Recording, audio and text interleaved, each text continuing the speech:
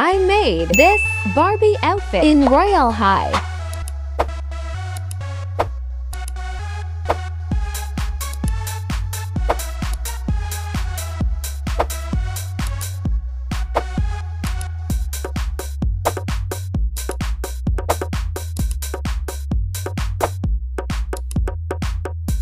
The reveal.